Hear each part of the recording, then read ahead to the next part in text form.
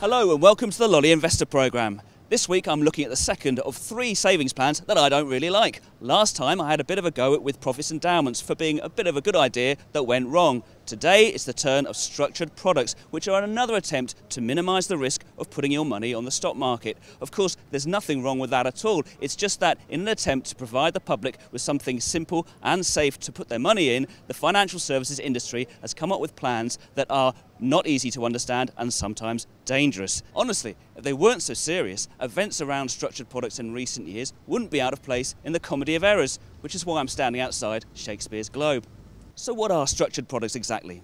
They are fixed term savings plans that require you to lock your money away between three years and six years. They are sold by banks, building societies, and financial advisors as sort of halfway house between safe, cash based savings accounts and risky, full on investments in the stock market. Structured products is a generic name that you might never actually hear used. Instead, they are also known as guaranteed equity bonds, structured cash ISAs, growth deposit plans, guaranteed capital plans, guaranteed income bonds, protected investment funds.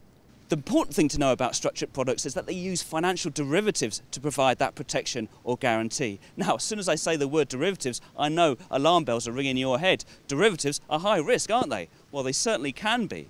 The funny thing about structured products is that they use derivatives to try and bring order into chaos, to try and structure a defined return out of a very unruly environment, the stock market.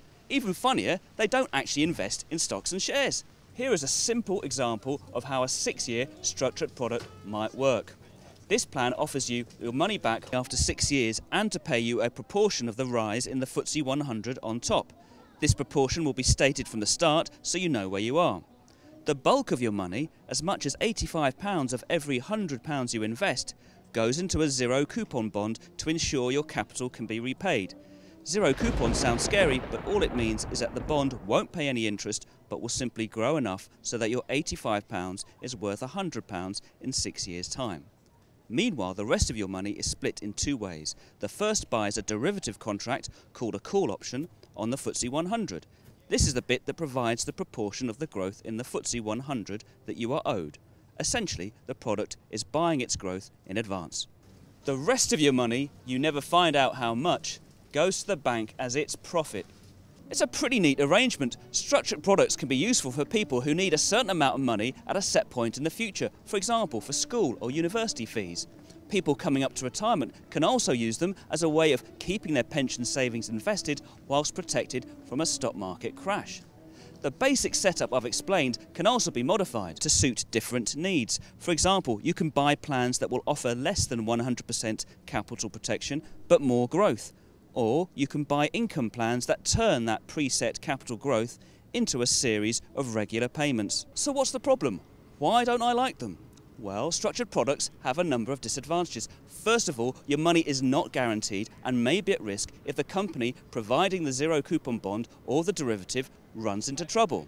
If that company is an investment bank and collapses like Lehman Brothers did in 2008, your money will not be protected by the Financial Services Compensation Scheme. However, if a high street bank or building society is involved, you may be covered.